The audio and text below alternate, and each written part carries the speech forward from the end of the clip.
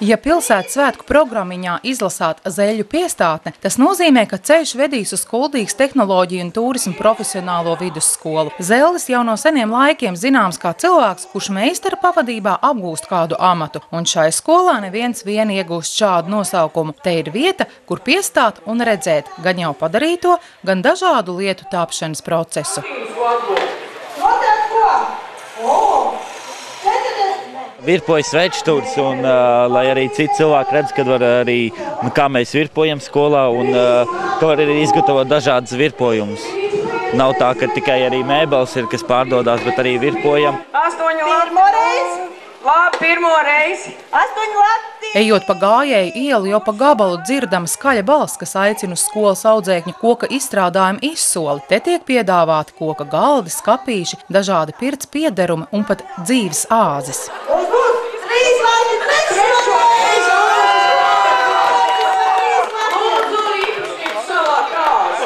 Gadu laikā audzēkņi sataisījuši ga- gaļas dēlīšu, lāpstiņus, un šūpuļu zilonīšus un krēsliņus. Un tad pat no sākuma mēs tirgojām, un pēc tam mēs laidām izsolē. Vienkārši gāja garām, dzirdēja, ka kaut kas bļaustās un ienāca paskatīties. Nopirka krēsliņu, pirtīja divas palikiņas. Un kāpēc tieši šos priekšmetus? Man ir šobrīd jāiet uz dzimšanas dienu vienai mazai meitnītei, un tad pēc man ir dāvana, ķeblīts.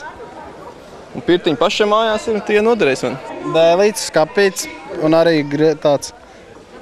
Es nezinu, kā viņi sauc. Ar ko var viegli apgriezt gaļu. Viss jau ir nopirkts. Vēl interesē, kādas cenas būs galdē. Osis, bērs, ozols un priede audzēkņu rokām pārtapuši mēbelēs, kuras aplūkošanai ikvienam interesantam. Te rindojas jauniešu diplomu darbi. Viena daļa jau ir pasūtījuma, jā, pasūtījuma mēbeles, un citi taisa arī tieši priekš sevis, un pēc tam ved mājās un izmanto sev šīs mēbeles. Ko redzēt un baudīt, te bija arī gardēžiem, jo skolā māca arī ēdienu gatavošanas un pasniegšanas mākslu. Asāku izjūtu cienītājiem, spoku joku istaba, bet dzīvnieku mīļiem zaķu un kaķu izstādes. Ieva Benefelda, Māruta Denelovs, Perševits, Skrundas televīzija.